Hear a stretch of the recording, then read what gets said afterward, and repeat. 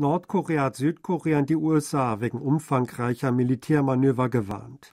Südkorea und die USA müssten den, wie es hieß, schrecklichsten Preis in der Geschichte für ihre laufenden Großmanöver zahlen, wurde Pak Jong-chon vom Zentralkomitee der herrschenden Arbeiterpartei am Mittwoch von Nordkoreas staatlicher Nachrichtenagentur KCNA zitiert. Sollten die USA und Südkorea den furchtlosen Versuch der Anwendung militärischer Gewalt gegenüber Nordkorea wagen, würde die nordkoreanische Armee umgehend ihre strategische Mission ausführen. Die Verbündeten seien dann mit einer fürchterlichen Situation konfrontiert und würden den schrecklichsten Preis in der Geschichte zahlen. Das laufende Luftmanöver Vigilant Storm Südkoreas und der USA bezeichnete Park laut dem Bericht als aggressive und provokative Übungen, die gegen Pyongyang gerichtet seien.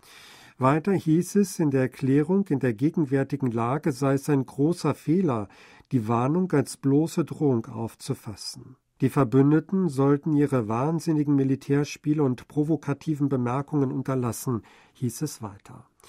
Nordkorea hatte im Anschluss an diese Mitteilung am Mittwoch über zehn Raketen verschiedener Typen, darunter drei ballistische Kurzstreckenraketen, ins Ost- und Westmeer gefeuert.